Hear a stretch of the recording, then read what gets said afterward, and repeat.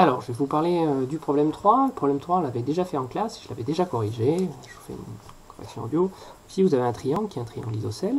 Donc, il a euh, en fait les deux angles ici qui sont égaux, puisque les deux côtés ici sont égaux. D'accord? Maintenant que j'ai cette information, il faut aussi que je me rappelle que la somme des angles d'un triangle fait 180 degrés. Je vais m'en servir dans tout cet exercice.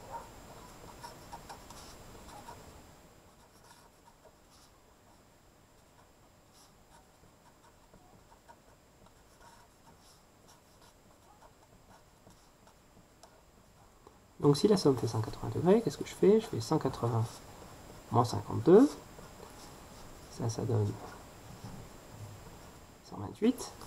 Donc 128, c'est la valeur pour les deux angles. Comme ils ont tous les deux la même valeur, eh bien, j'ai plus qu'à faire 128 divisé par 2 pour obtenir euh, la longueur souhaitée. Donc 100 divisé par 2, ça fait 50, plus 14, ça fait 68. Donc la valeur cherchée, de, la valeur de l'angle, c'est... Euh, donc on a euh, x égale 68. Voilà une manière de faire. Sinon, je peux aussi l'écrire comme une équation. Donc je sais que la somme fait 180 degrés. Et donc qu'est-ce que je dois ajouter? Ben, Je dois ajouter un angle qui fait 52, plus un angle qui fait x, plus un angle qui fait x.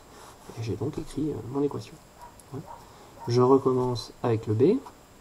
Donc le B, euh, c'est ce triangle isocèle. Donc j'ai cet angle-là ici qui est égal à cet angle-là. Donc euh, ici, je sais aussi que ça fait 36.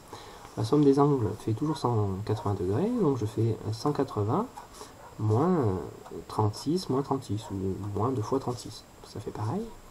Et je vais trouver euh, directement la valeur. Donc 36 plus 36, ça fait 72. Et donc ça fait 108 je fais la soustraction.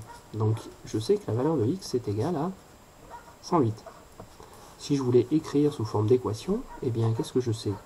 Je sais toujours que la somme va faire 180 degrés, et puis je vais additionner mes angles.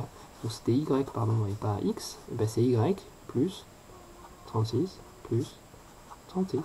Voilà, c'est terminé.